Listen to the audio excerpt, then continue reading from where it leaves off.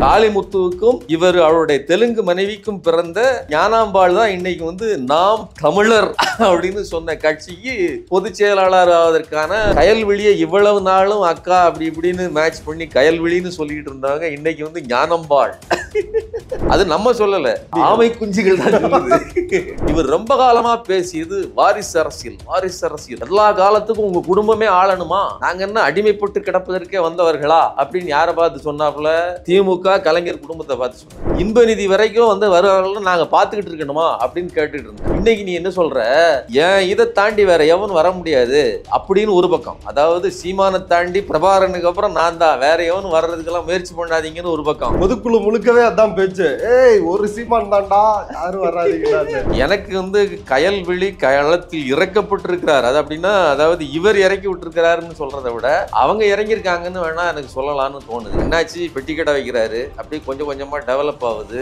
அடுத்து வந்து ஒரு சின்ன பலசர கடையாகுது. அப்புறம் ஒரு டிபார்ட்மெண்டல் ஸ்டோர் மாதிரி ஆயிடுச்சு இப்போ. இப்படியே விட்டா கடையை வேற எவரோ தூக்கிட்டு போயிருவாங்கிற பிரச்சனையில அக்கா வந்து உட்காந்து கல்லாப்பட்டியில வந்து உட்காந்துருக்குங்களா அதே நிலைமை தான் அங்கே நடந்துச்சு இன்னைக்கு எல்லாத்துக்கும் நியாயம் நீதி தான் சீமான்டா முக்கியம். சீமான் அண்ணன் அக்கா யாரையும் பார்க்கக்கூடாது நியாயம்தான் முக்கியம்னு சொல்லுவான ஒருத்தன். சாட்டையை தூக்கிட்டு வருவானே. அந்த துரைமுருகன்லாம் வந்து எத்தனை கற்பனையோட வாழ்ந்திருப்பான். நாம வந்து வெறும் கண்ணீர்னு சொல்றோம். இன்னைக்கு இந்த ரூமை பூட்டிட்டு சாட்டை துறைமுருகன் ரத்த கண்ணீர் சிந்தினாலும் சிந்துறதுக்கு வாய்ப்பு இருக்கு. ஹுமாயூன். எலும்புச்சம்பளத்துக்கெல்லாம் அறிவியல் தத்துவம் சொன்னா அற்புதமான மனிதர் அவரு. அவங்களெல்லாம் விடுங்க. பொம்பளை சீமான் காளியம்மா. அந்த அம்மா. அண்ணனுக்கு கூச்ச நாச்சம் எதுவும் கிடையாது. வெக்கம் இல்லாமல் நாளைக்கு வந்து எங்க உட்கட்சி இதுக்குள்ள நீங்க தலையிடாதீங்க நாங்க முடிவு எடுப்போம்னு சொல்லுவோம் சீமானின் வாரிசுனே போட்டிருக்காங்க. நீங்க எந்த அரசியல் எங்களுடைய சித்தாந்தம் கொள்கை அப்படின்னு நீங்க பேசிக்கிட்டு இருந்தீங்களோ அதை அப்படியே உடைச்சி உங்களுடைய உங்களுக்கான ப்ரொமோஷன் யூடியூப்ல நடக்குது. உங்களுக்கு தெரியாமலாம் ஒண்ணும் கிடையாது. நீங்க ஃபோன் பண்ணி அது வாரிசு. வாரிசுலாம் போடாதப்பா அப்படின்னு நீங்க சொல்லியிருக்க முடியும். அப்படி இல்லை. எனக்கு தெரிஞ்சு இதை டைட்டிலா போடு அப்படின்னு கூட அண்ணன் சஜஸ்ட் பண்ணியிருப்பாரு. அதுக்கு முன்னாடி வரையிலும் பொங்கல் கொண்டாடினாலோ இது பண்ணாலோ சீமானை முன்னிறுத்தி கேமரா வந்து சீமானை நோக்கியே இருக்கும். ஹீரோவை நோக்கியே இருக்கும். இப்போ வந்து ஹீரோயின் தான். அந்த அம்மா ஆடுற ஆட்டம் என்ன? பாடுற பாட்டம் என்ன? அதெல்லாம் கட் பண்ணி போட்டிருக்காங்க ஷார்ட்ஸ்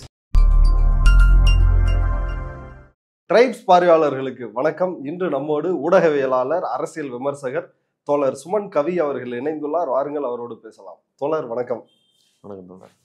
தோழர் நாம் தமிழர் கட்சியில் வந்து ஒரு அடுத்த கலைபுரம் வெடிக்க ஆரம்பிச்சிருக்குது. குறிப்பாக நாம் தமிழர் கட்சியினுடைய தலைமை ஒருங்கிணைப்பாளர் சீமானின் மனைவி கயல்விழி அவங்க இன்னைக்கு திருப்போரூர் நாம் தமிழர் கட்சி அலுவலகத்தை திறந்து வைத்து புலிக்கொடியை ஏற்றி வைத்திருக்கிறார். இது நாம் தமிழர் கட்சிக்குள்ளேயே வந்து கடும் எதிர்ப்பையும் பூசலையும் வந்து ஏற்படுத்தியிருக்கிறது. குறிப்பாக சமூக வலைதளங்களில் நாம் தமிழர் தம்பிகளே வந்து கட்சியை விட்டு விலகிறேன் அப்படின்னு வந்து எழுதுறாங்க. இது என்ன திமுக மாதிரி மாறிடுச்சு தேமுதிக மாதிரி மாறிடுச்சு. அப்படின்லாம் பயங்கரமா வந்து கொந்தளிக்கிறார்கள் தம்பிகள். இந்த நிகழ்வை நீங்க எப்படி பாக்குறீங்க இது எதை காட்டுகிறது? அது நாம் தமிழர் கட்சி அப்படிங்கிறது முதல்ல ஒரு தேர்தல் கட்சியாகவே இருந்தாலும் தேர்தலுக்கு அந்த அந்த ஓட்டு கட்சிகளுக்கு இருக்கக்கூடிய பொதுவான தன்மை அப்படிங்கிறது நாலு கட்சிகளோடு கூட்டணி அமைப்பது ஒரு எதிர்த்தரப்பை உருவாக்குவது ஒரு ரெண்டு மூணு சீட்டுகளை ஜெயிக்கிறது. இப்படி ஒரு ஸ்ட்ராட்டஜிக்கல் இது இருக்கும். இதை இது அடைய போகிறோம் இத்தனை எம்எல்ஏகளை அடைஞ்சிருக்கிறோம். இல்லை இத்தனை எம்பியோ அடைஞ்சிருக்கோம் அடுத்தது இப்படிப்பட்ட திட்டங்கள் மட்டும்தான் இருக்கும். அப்போது ஒவ்வொரு படிப்படியான நகர்வு இருக்கும். ஆனா இங்க சீமானை பொறுத்த வரையிலும் நான் வந்து அரசியலை வந்து இப்படி செய்ய வரல. நான் வந்து தலைகீழ மாதவர் இது மற்றுமோர் கட்சி அல்ல மாற்று அரசியல் புரட்சி அப்படின்னாரு. இப்போ இதெல்லாம் உருட்டு. அதாவது என்ன அப்படின்னா ஒரு அடிப்படை அறிவு இருக்கிற நான் என்ன சொல்றேன்? இப்போ இந்த இடத்துல இருந்து இந்த இடத்துக்கு போகணும்னா ஒன்று பைக்கில் போகணும் இல்லைன்னா பஸ்ஸில் போகணும். பஸ்ஸில் போகிறதா இருந்தால் இந்த பஸ்ஸை பிடிக்கணும் இங்கே இறங்கணும் இங்கேருந்து இங்கே போகணும். நான் வந்து இப்படிலாம் பண்ண மாட்டேன். நான் வேற மாதிரி பறந்து போக போகிறேன் அப்படின்னு சொல்லி நீங்கள் வந்து ஒரு பஸ் ஸ்டாப்லேயே நின்று நிற்க முடியாது. சரிங்களா? அப்போ ஒரு இல்ல, உண்மையில இப்ப நீங்க சொல்றது எனக்கு புரியுது. ஆனா உண்மையில் அவர் வந்து ஆட்சி அதிகாரத்தை பிடிக்க வேண்டும் அப்படின்ற நோக்கம் இருந்தா நீங்க சொல்ற மெத்தடை ஃபாலோ பண்ணுவாரு. அவருடைய நோக்கமே பாக்குறப்ப என்ன தெரியுதுன்னா ஒரு ஓட்டுகளை பிரிப்பது. அது அதுதான். அப்போ இது அது அது என்னன்னா அவருடைய பேச்சில் மயங்கி அவருடைய அந்த வார்த்தை ஜாலத்தில் மயங்கி கிடந்த பல இளைஞர்கள். ஏன்னா இன்னைக்கு வந்து திரைப்படத்தை பார்க்குறத விட இப்போ வந்து அவர் வசனங்களை அவரே மேடையில் பேசுகிறார் திரை அவரே அவர் சொன்னார். வந்து தம்பி விஜய் வந்து நான் பேசின வசனங்களை தான் வந்து திரையில் பேசுகிறான் அது வந்து ஒரு டைரக்டர் சொல்கிறது மாதிரி தான் எனக்கு தோணுச்சு. என்ன அப்படின்னா இவர் இங்கே மேடையில் சொல்கிறாரு அதை இன்னொரு டைரக்டர் க வசனமாக எழுதி விஜய்க்கு கொடுக்குறாரு. இப்படி தான் நடக்குது அதாவது இவர் படத்துக்கு எழுதி யாருக்கோ கொடுப்பதற்கு பதிலாக இவரே சில வசனங்களை தயாரித்து அப்படி எதுகை மோனையாக மேடையில் முழங்குகிறார். அதில் ஒரு திறமையும் இருக்குது நீங்கள் சோபா விற்கிற பையன் மாதிரி ரொம்ப அருமையாக என்ன ஒரு விஷயம்னா சோஃபா விற்கிற பையன் வந்து தன்னுடைய பொருள் எவ்வளவு சிறப்பானதுன்னு பேசுகிறான் அந்த வகையில் அந்த பையனை நம்ம குறை சொல்ல முடியாது. ஆனால் தன்னுடைய பொருள் சிறந்ததுன்னு சொல்லலை. என்னுடைய பொருள் மட்டும்தான் உலகத்திலேயே சிறந்தது. மற்றதெல்லாம் தப்பு.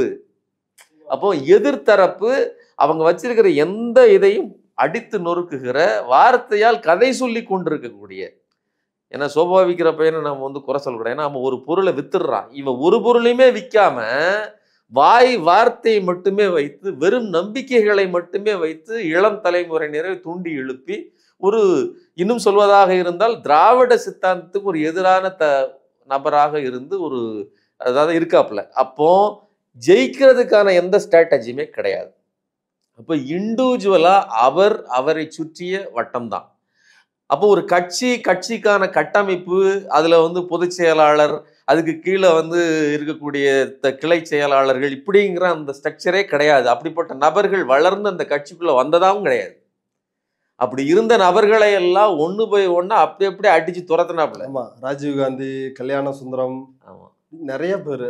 இப்ப சமீபத்துல வெற்றிக்குமரன் புகழ்மாறன் வெற்றி இன்னைக்கு வடிவேல் கந்தசாமின்னு ஒருத்தர். வெற்றி குமரனோட கதையெல்லாம் பார்க்கும்போது நமக்கு உண்மையிலேயே தனிப்பட்ட முறையில் வெற்றி குமரனாக நாம் யோசிச்சு பார்த்தோம்னா நமக்கு இரத்த கண்ணீர் வரும். வா ஒரு பெரிய இன்ஜினியராக இருந்து நல்லா சம்பாதிச்சிட்டு இருக்கிறாரு.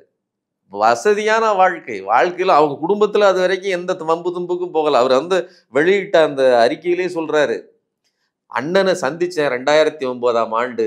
அதுலேருந்து அவருக்கு பின்னாடியே வந்தேன். அதுக்கப்புறம் வந்து கட்சி ஆரம்பிப்போம் இப்படி பண்ணலாம்னே அப்படின்னு சொன்னப்போ நாங்கள் வந்து மணிவண்ணன் அப்பாவோட சேர்ந்து நாங்கள் ஆரம்பித்தோம் அதுலேருந்து இன்னைக்கு வரையில் நான் வந்து ஒரு நிழல் போல் தொடர்ந்து வரேன். இவிக்கு இளங்கோவன் வீட்டில் நான் வந்து இது பண்ணதா? ஒரு குற்றச்சாட்டு வந்து என்னை பத்தொம்போது நாள் சிறையில் வச்சுருந்தாங்க. அதற்கு பிற்பாடு தொடர்ந்து கட்சி பணிக்காக என்னுடைய மொத்த பணத்தையும் தொலைச்சிட்டேன். என்னுடைய எதிர்காலமே போச்சுங்கிறார்.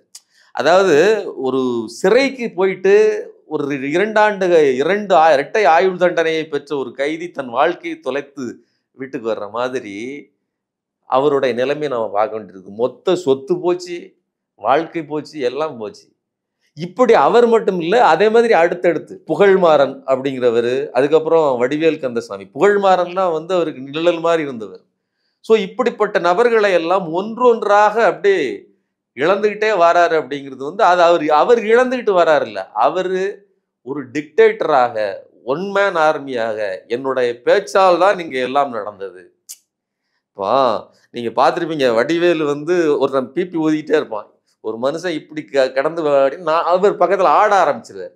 இப்போ நான் ஆடுனதுக்கு எனக்கு பணம் போட்டு போயிட்டாங்க. நீ ஊதுனதுக்கு உனக்கு பணம் போல நீ எடுத்துட்டு போ. இப்போ கடையை காலி பண்ணு. பணம் முழுவதுங்கிறது என்னுடைய ஆட்டத்துக்கு. இப்போ கூட கூட ஊதுனவங்க கூட ஒத்தாசையாக இருந்தவர்கள் பற்றி அவருக்கு அக்கறையே இல்லை. நீங்கள் அந்த அந்த அந்த அதில் நடந்ததா இப்போ நடந்துகிட்டு இருக்கு.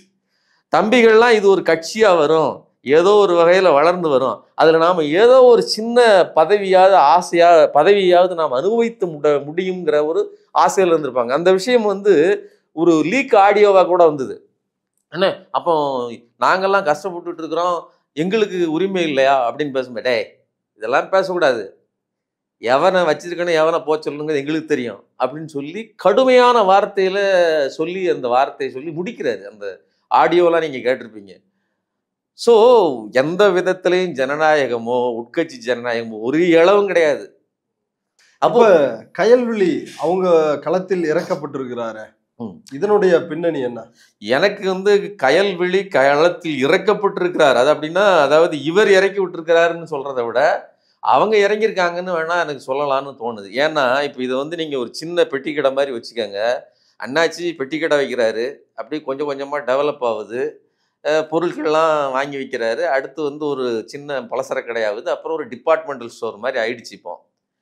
இப்போ கடைக்கு உரிமை கொண்டாடுவதற்கும் க அண்ணன் க கடையில் ஆரம்பத்துலேருந்தே இருந்தவங்கெல்லாம் வந்து எங்களுக்கு கொஞ்சம் கூடிய எத்தியில் குறிப்பிட்ட பொறுப்புகளே கொடுங்கங்கும் போது ஸோ இப்படியே விட்டா அண்ணாச்சி கடையை வேற எவரோ தூக்கிட்டு போயிடுவாங்கிற பிரச்சனையில் இப்போ கடைக்குள்ளே ஒரு ஆள் வராங்க. இந்த அக்கா வந்து உட்காந்து கல்லாப்பட்டியில் வந்து உட்காந்துருக்குங்களா அதே நிலைமை தான் அங்கே நடந்துகிட்டு இருக்கு. இப்போ இதில் ஒரு விஷயம். இப்போ இதன் இப்படி நடப்பதை நாம் குறை சொல்வதற்கு இல்லை. ஆனால் இந்த நபர் எதை சொல்லி இந்த அரசியலுக்கு வந்தார்? நான் இன தூய்மையை பாதுகாக்க போகிறேன். இன அரசியலை முன்னிறுத்துகிறேன். நாம் வந்து நாமளும் இனத்து இன அரசியல் தான் முன்னிறுத்துகிறோம். திராவிட இனத்தின் அரசியலை தான் ஆனால் அது ஆதிக்கம் செலுத்துகிற ஆரிய இனத்துக்கு எதிரான அந்த ஆதிக்கத்துக்கு எதிரான அரசியலை தவிர அவர்களுடைய இரத்த சுத்தத்தை பற்றியான அரசியல் கிடையாது. ஒரு பார்ப்பனரே ஆரியத்தை எதிர்த்து பார்ப்பனியத்தை எதிர்த்து போராடுவதற்கு நம்ம கூட வந்து நம்ம ஏற்றுக்கொள்ள தயார். ஆனால் அவனுக்கு அப்படி கிடையாது. நீ தமிழனா? நாம் ஒரு சாதாரண ஒரு விஷயத்தை தி- நாத்தாக்காவுக்கு எதிராக பேசிட்டோம்னாலே போதும். நீ அந்நிய கைக்கூலி நீ தமிழன் கிடையாது நீ கோல்டி அப்படின்னு வந்தேரின்னு சொன்னவனுங்க. ஆனால் இன்னைக்கு அதே வார்த்தைகளை அந்த தலைமை பிடத்துக்கு வருவதற்கு இவர் வந்து இப்போ சஜஸ்ட் பண்ணப்படுறாரு. மெல்ல மெல்ல உள்ள வராரு. கயல்வெளி. கயல்வெளி உள்ள வராங்க. கயல்வெளியை இவ்வளவு நாளும் அக்கா அப்படி இப்படின்னு மேட்ச் பண்ணி கயல்வெளின்னு சொல்லிட்டு இருந்தாங்க. இன்னைக்கு வந்து ஞானம்பாள். அந்த காலத்து பழைய நடிகைகள் கண்ணாம்பாள்னு தெலுங்கு நடிகைகளுக்கு தான் அந்த மாதிரி பேர் வச்சிருப்பாங்க. அந்த ஞானாம்பாள்னு இந்த அம்மாவுக்கு பேருங்கிறாங்க. அது நம்ம சொல்லல. ஆமை குஞ்சுகள் தான் சொல்லுது. ஓகே. சோ மொத்தத்தில் என்ன நடந்திருக்குன்னா அப்ப தூய தமிழ் ரத்தத்தை முன்வைத்து அரசியல் பண்ண கட்சிக்கு தலைவராக பொதுச் செயலாளராக அப்படிதான் வந்து சொல்றாங்க. ஒண்ணு தூய ரத்த அந்த ரத்த சுத்தம் பற்றி பேசுவதற்கு அது யாராலையும் முடியாது. அது நடைமுறை சாத்தியமற்றது அப்படிங்கிறது இங்க ப்ரூஃப் ஆயிருக்கு. காளிமுத்துவுக்கும் இவர் அவருடைய தெலுங்கு மனைவிக்கும் பிறந்த ஞானாம்பாள் தான் இன்னைக்கு வந்து நாம் தமிழர் அப்படின்னு சொன்ன கட்சிக்கு பொதுச் செயலாளர் ஆவதற்கான சூழல் வந்து நிற்கிறது. இதை நாம புரிஞ்சுக்கணும். ஒண்ணு இன்னொன்னு இந்த இந்த பிரச்சனைகள்லயே இன்னொரு விஷயமா அடிபடுது. என்ன அப்படின்னா இவர் ரொம்ப காலமா பேசியது வாரிசு அரசியல் வாரிசு அரசியல். எல்லா காலத்துக்கும் உங்க குடும்பமே ஆளணுமா? நாங்க என்ன அடிமைப்பட்டு கிடப்பதற்கே வந்தவர்களா? அப்படின்னு யாரை பார்த்து சொன்னாப்புல? திமுக கலைஞர் குடும்பத்தை பார்த்து சொன்னார். ஸோ நாங்கள் இந்த விஷயங்களை புரிஞ்சிருக்கிறோம். ஒரு தனிச்சொத்தாக வந்து ஒவ்வொருத்தர் கைக்கு மாறும். ஆனால் நீ என்ன பேசிக்கிட்டு இருந்த? இவ்வளவு நாளும் வந்து எதிராளியை கையை காட்டி இவங்கெல்லாம் குடும்ப அரசியல் பண்ணிட்டு இருக்காங்க. இன்ப நிதி வரைக்கும் வந்து வருவார்கள் நாங்கள் பார்த்துக்கிட்டு இருக்கணுமா? அப்படின்னு கேட்டுட்டு இருந்தேன் இன்னைக்கு நீ என்ன சொல்கிற ஏன் இதை தாண்டி வேற எவனும் வர முடியாது? அப்படின்னு ஒரு பக்கம். அதாவது சீமானை தாண்டி பிரபாகரனுக்கு அப்புறம் நான் தான். வேற எவனும் வர்றதுக்கெல்லாம் முயற்சி பண்ணாதீங்கன்னு ஒரு பக்கம். ஆமா அவரோட பதவிக்கு. ஆமா. பொதுக்குழு முழுக்கவே அதான் பேச்சு. ஏய் ஒரு சீமான் தான்டா யாரும் வராதீங்களான்னு. பேச்சு. ஏக்கி சாந்துகே அதே மாதிரி ஒரே ஒரு சூரியன் தான். அதே. மாதிரி ஒரே ஒரு அண்ணன் தாங்கிற மாதிரி சொல்றாப்ல. இப்ப நம்ம என்ன இப்ப அடுத்த கட்டமா அடுத்த பொதுச் செயலாளர் பதவிக்கும் அப்படி சொல்லிட்டு அவரே இன்னொரு பக்கம் என்ன சொல்றாரு தெரியுமா? இன்னும் கடையே இல்லை. அதாவது இன்னும் ஒரு ஒரு எம்பி சீட்டு எம்எல்ஏ சீட்டு கூட ஜெயிக்கல. இன்னும் நம்ம போக வேண்டிய இலக்கு எங்கேயோ இருக்கு. எது? இலக்கு எங்கேயோ இருக்கு. எங்கேயோ இருக்குன்னு நின்ன இடத்துல நின்றுட்டு இருக்கிற. ஏன்னா உன் பை நிரம்பி விட்டது. உனக்கு தேவையானது எல்லாம் கிடைச்சிச்சு. அப்போ நான் என்ன சொல்கிறேன் உன்னோட இலக்கு அதுவல்ல உன் இலக்கை நீ அடைந்து விட்டாய். அடைந்த இலக்கிலிருந்து அடுத்த கட்டத்துக்கு நகர்ந்துகிட்டு இருக்கிற. தட் மீன்ஸ் வருமானம். இன்னைக்கு ஈழத்தமிழர்களை ஏமாற்றி பணம் பறித்தாயிற்று. இன்னைக்கு இனிமேல் நீங்க வந்து ஈழத்தமிழர்கள் அனுப்பித்தான் இவர் வாழணும்னு அவசியம் கிடையாது. ரெண்டு லட்சம் ரூபா வாடகை கொடுத்து ஒரு வீட்டுல எனக்கு பிரச்சனை இல்லைங்க. என் நாய்க்கும் என் பூனைக்கும் அது வச்சிருக்கிற ரெண்டு வாத்து கோழிக்குமாவது நான் ஒரு ரெண்டு லட்சத்துக்கு. நாங்கெல்லாம் ஒரு ஒண்டு குடிசையில வாழ்ந்துருவோம். அந்த குருவி இதெல்லாம் என்ன பண்ணும் அதுவும் அதுவும் இவர் இன துரோகின்னு வாய் முழுக்க சொல்லுகின்ற அந்த கட்சியின். ஒரு எம்பியினுடைய உதவியோடு தமிழச்சி தங்கபாண்டியன் உதவியோடு அதை வந்து அவங்க தான் பதில் சொல்லணும். உங்களை இவ்வளவு நாளும் காரி துப்புனானே அவ்வளத்தையும் வாங்கிட்டு அவனுக்கு போய் உதவி இருக்கீங்களே அப்படிங்கிறதுக்கு நீங்க தான் பதில் சொல்லணும். அது வந்து மிகப்பெரிய ஒரு ஒரு விஷயம். ஸோ எதுக்கு சொல்ல வரேன்னா இப்படிப்பட்ட ஒரு லக்ஸரியஸ் வாழ்க்கைங்க எனக்கு வீடே கிடையாது வீடே கிடையாதுன்னு சொல்லிக்கிட்டு ரெண்டு லட்சம் ரூபாய்க்கு வாடகைக்கு ஒருத்தன் வீடு பார்க்குறான்னா அப்போ எவ்வளோ வசதியாக வாழ்ந்துட்டு இருக்கிறான்?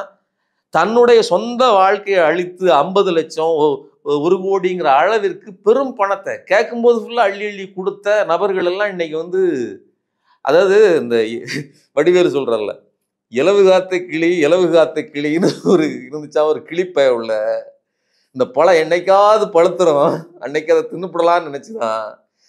வெடிச்சது அந்த பஞ்சு மட்டும் இல்லை ஆமக்குஞ்சியோட அந்த குட்டி அதே நிலமை தான் இன்னைக்கு அந்நியார் வந்து வருவதற்கான சமிக்கைகள் எல்லாமும் நடக்கும் ஓகே இல்ல கட்சியில அவங்க வெறும் உறுப்பினர்.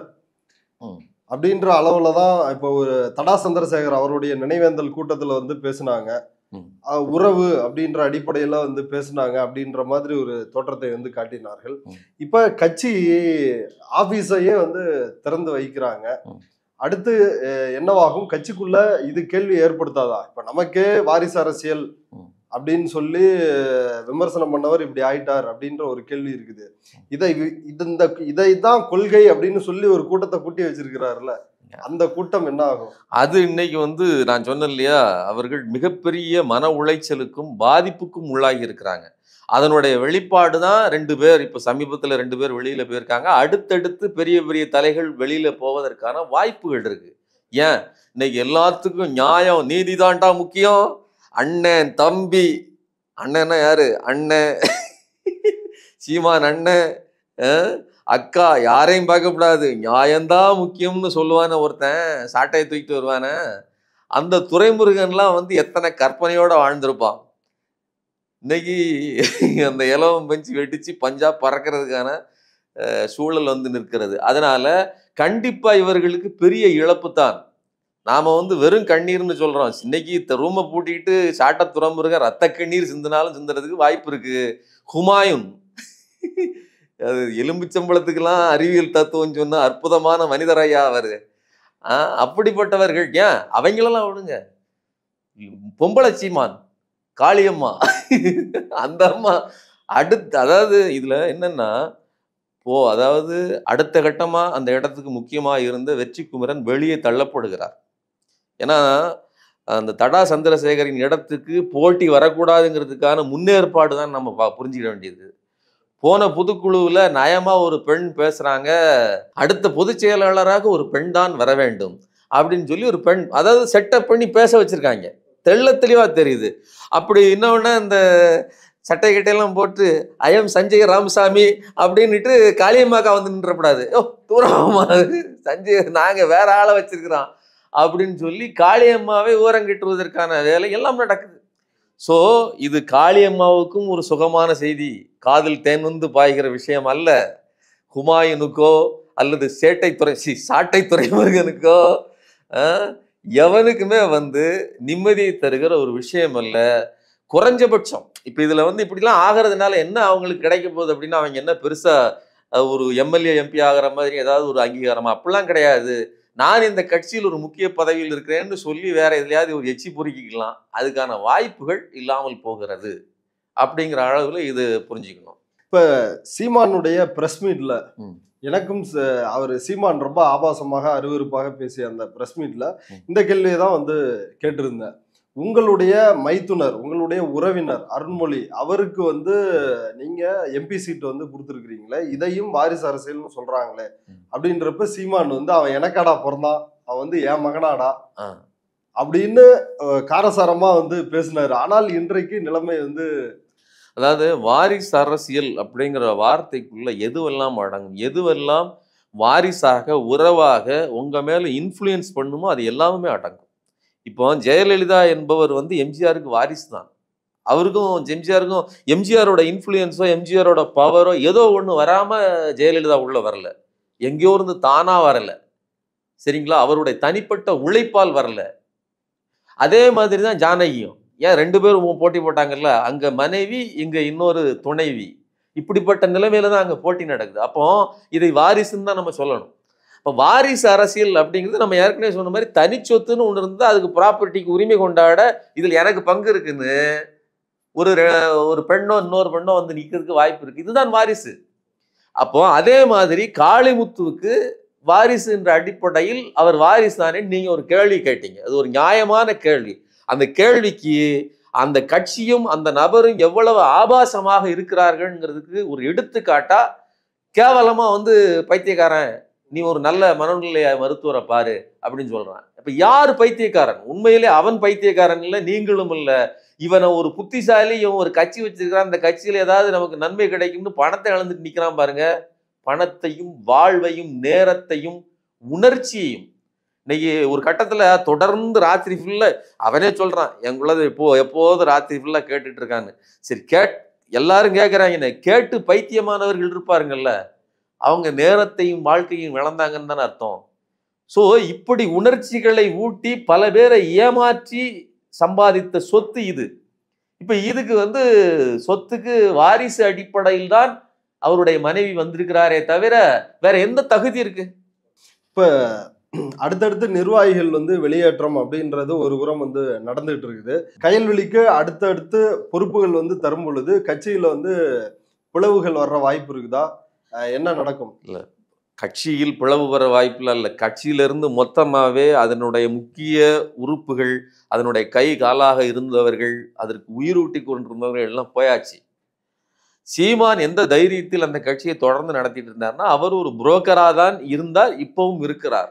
என்ன ஒன்னே ஒன்று குறையும்னா இந்த சித்தாந்த அரசியல் நாங்கள் வந்து ஒரு புது உலகத்தை காட்ட போகிறோம் அப்படின்னு உருட்டிக்கிட்டு இருந்த இந்த இடும்பவனம் கார்த்தி இவங்களான மாதிரியான ஆட்களுக்கு பேசுவதற்கான வாய்ப்பு கொஞ்சம் குறையும். கொஞ்சம் கூச்சம் வரும்ல. அண்ணனுக்கு கூச்ச நாச்சம் எதுவும் கிடையாது. அவர் மறுபடியும் வந்து வெக்கம் இல்லாமல் உதயநிதி அமைச்சர் பதவி வாங்கும்போது ஏன் கனிமொழிக்கு கொடுக்கக்கூடாது? அப்படின்னு இவர் வந்து சஜஷன் சொல்லுவார். என்ன உன் கட்சிக்குள்ள வந்து பிரச்சனை என்னன்னு கேட்டா வெக்கம் இல்லாமல் நாளைக்கு வந்து எங்க உட்கட்சி இதுக்குள்ள நீங்க தலையிடாதீங்க நாங்க முடிவெடுப்போம்னு சொல்லுவான். சோ அப்ப அது திமுகவின் உட்கட்சி தானே? நீ ஏன் தலையிட்ட? உனக்கு என்ன உரிமை இருக்குது? அப்படின்னு நம்ம கேட்கலாம் இல்லையா? ஸோ அந்த கேள்விகளெல்லாம் நம்ம கேட்டாலும் அவனுக்கு வெக்கமோ சூடு சொல்றனே கிடையாது. ஆனா இடும்பவனம் கார்த்தி சொல்றாப்புல இப்போ நீங்க இப்படி சொல்றீங்க ஒரு பேட்டியில இடும்பவனம் கார்த்திகிட்ட கேட்கறாங்க வாரிசு அரசியல் வாரிசு அரசியல்னு சொல்றீங்களே வாரிசு அரசியல் அடுத்த கட்டமா உங்க கட்சிக்குள்ளேயே வந்ததுன்னா நீங்க என்ன பண்ணுவீங்க மாவீரன் வளருவான் அல்லது வேற யாரும் அக்கா அண்ணி யாரும் வருவாங்க என்ன செய்வீங்க வரும்போது நீங்க எதிர்த்து கேள்வி கேளுங்க அப்போ கூட அவன் ரொம்ப தெளிவா பதில் சொல்றான் நான் எதிர்த்து தெளிவி கேள்வி கேட்பேன்னு சொல்லல நீங்க நீங்க எதிர்த்து? அப்ப அதான் ஒரு செட்டிங்கோட தான் எல்லாம் நடக்குது. விவரமா தான் இருக்காங்க. எங்க கட்சிக்குள்ள வந்துச்சுன்னா நீங்க கேள்வி கேளுங்க. உங்க கட்சிக்குள்ள இருக்கனால நான் கேள்வி கேட்பேன்டா? அதான் சீமான் சொன்னாருல்ல என்னங்க இப்படி மரியாதை இல்லாம வந்து பேசுறீங்க பொது மேடைகள் அப்படின்னா வேண்டாம் எங்க அப்பா அத்தாவை நீங்களும் திட்டீங்க. ஆமா. இது அதுதான். இது இது இப்படிதான். அதாவது ஆரம்பத்துல இருந்தே அப்படித்தான். எங்க அப்பா அம்மா ரொம்ப கேவலமா திட்டுவோம். உங்க அப்பா அம்மா இது மாதிரி ஒரு கேவலமான அது வந்து வடிவேலு காமெடின்னு நம்ம சீக்கிறோம் இப்படிப்பட்ட கேவலமான காமெடி தான் இவனு இதுல நடந்துகிட்டு இருக்குது. இப்ப இந்த பொங்கலை ஒட்டி சீமான் வீட்டு பொங்கல் அப்படின்னு சொல்லி சீமான் பொங்க வைக்கிறது அங்க வந்து கபடி போட்டிகள் இப்படி பல விஷயங்கள் தேங்காவை உடைச்சு அதை வந்து அண்ணி எல்லாரும் ஓடி போய் பொறுக்கிறது. இந்த மாதிரியான காட்சிகள்லாம் இடம்பெற்ற வீடியோக்கள் வந்துச்சு. அதுவே ஒரு சமிக்கை தானா? அண்ணி ப்ரொமோஷன் செய்ய அதாவது இவன் கதையை சொ- அதாவது சீமான் கதையை சொல்ல ஆரம்பிச்சோம்னா ஒரே வடிவேலு காமெடியாக வந்து விழுது. அதில் அவனே என்ன நினைச்சானோ தெரியல. அவன் கீழே டைட்டில் வைக்கும் போதே அப்பா பாட மகன் இசை இசையமைக்க அது அப்படியே வடிவேலு டைட்டிலே வச்சிருக்கிறான். எங்க அம்மா ஆட அப்படிங்கிற மாதிரி நீங்க இப்பவும் போய் பாருங்க. வச்சு ஒரு ஹார்ட் போட்டு அதுக்கப்புறம் அதுக்கப்புறம் ஒன்றும் தொடரல. அதுக்கப்புறம் மறுபடியும் என்ன போட்டிருக்கிறான்? சீமானின் வாரிசு. சீமானின் வாரிசுனே போட்டிருக்காங்க. நீங்கள் எந்த அரசியல் எங்களுடைய சித்தாந்தம் கொள்கை அப்படின்னு நீங்கள் பேசிக்கிட்டு இருந்தீங்களோ அதை அப்படியே உடைச்சி உங்களுடைய யூடியூப்ல உங்களுக்கான ப்ரொமோஷன் யூடியூப்ல நடக்குது. சரிங்களா? வீடியோவில்.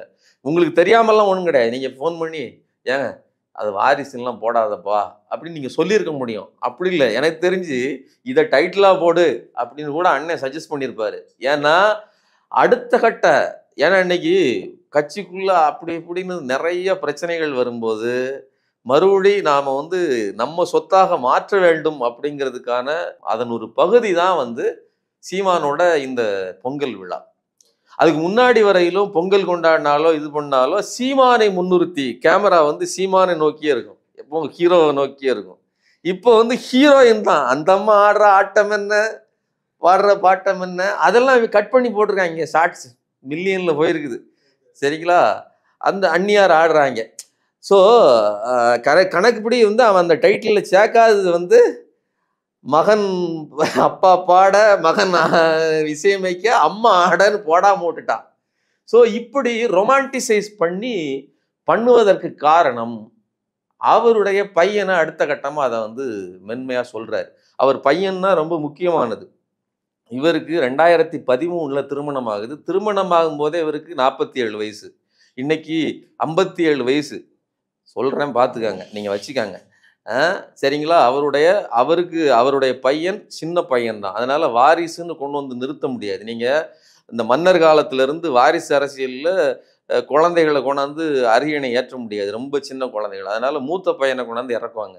அண்ணன் என்ன பண்ணியிருக்காரு அப்படின்னா கயல்விழி அதாவது ஞானாம்பாளினுடைய அக்கா அவர்களுடைய பையனை தன்னுடைய சொந்த பையனாக வளர்க்குறாப்புல தத்து எடுத்து. அது என்ன சூழல் என்னன்னு தெரில பட் பையன் தம் என்னுடைய பையன் தான் பேசுகிறாப்புல ரொம்ப அந்யோன்யமாக அன்பாக ஒரு தகப்பனாக வந்து எவ்வளோ ஜாலியாக இருக்க முடியுமோ கேமரா முன்னே அவ்வளோ ஜாலியாக இருந்தாப்புல. ஸோ அதனால் அதில் எந்த மாற்று கருத்தும் இல்லை. ஆனால் அதில் அந்த பையன் சொன்ன விஷயம் ரொம்ப முக்கியமானது. எனக்கு வந்து படம் பண்ணணும் அப்படின்னு ஆசை இருந்துச்சு. படத்தில் நடிக்கணும்னு ஆசை இருந்துச்சு. இப்போ வந்து அப்பா மாதிரி ஒரு புரட்சி அப்படி அப்படி வரணும்னு ஆசையா இருக்கு. புர- கூட்டம் நடக்கிறப்ப கட்சிக்காரத்தவங்கலாம் வருவாங்க. வணக்கம் தம்பி அப்படின்னு வணக்கம் சொல்லுவாங்க. ஆமா. அப்படி சொல்லும்போது இவர் நைஸா சொல்றாரு. அது வந்து அவருக்கு எங்க மாமனாரே வந்து அதுல இருந்து வந்தவர் இல்லையா? அப்போ நீ என்ன சொல்ற? எங்களுடைய குடும்பம் அதாவது எங்களுக்கு ஒரு அரசியல் ரத்தம் ஒரு பாரம்பரியம் ஓடுகிறதுன்னு சொல்ற. அதே இதை இன்னொரு இடத்துலையும் அவர் ரெஜிஸ்டர் பண்ணுறாரு கயல்வெளி அவங்களுக்கு வந்து ஒரு அரசியல் பெண் பிறக்கும் போதே அமைச்சரின் மகள். இதெல்லாம் என்ன? இது இந்த வார்த்தைகள் எல்லாம் எதை பிரதிபலிக்கிறது? அப்போ நீங்கள் அதாவது சிக்னேச்சர்ஸ் இந்த கொலையாளி சிக்னேச்சரை விடுவாங்கிற மாதிரி நீங்கள் மெல்ல மெல்ல ந விஷயங்களை விட்டுட்டு போகிறீங்க என்ன அப்படின்னா எங்களுக்கு ஒரு அரசியல் பாரம்பரியம் இருக்கிறது. அப்போ அந்த பாரம்பரிய அடிப்படையில் வாரிசு அடிப்படையில் தான் இந்த நிகழ்வுகள் எல்லாம் ஒன்று சேர்கிறது. அப்ப இனிமேல் சீமான் ரெண்டு விஷயத்தை பேச முடியாது. ஒன்று அரசியல் வாரிசு அரசியல். இன்னொன்று இந்த இன தூய்மை பற்றிய அரசியல். இப்ப இதையெல்லாம் பேசி கொண்டிருந்த தம்பிகள் என்ன செய்ய போகிறார்கள் அப்படின்னு தான் நமக்கு தெரியல. ஓகே பொறுத்திருந்து பார்க்கலாம் தோழர். இவ்வளவு நேரம் எங்களுடைய பார்வையாளர்களுக்காக நேரத்தை ஒதுக்கி கருத்துக்களை பகிர்ந்துட்டதுக்கு மிக்க நன்றி. நன்றி தோழர்.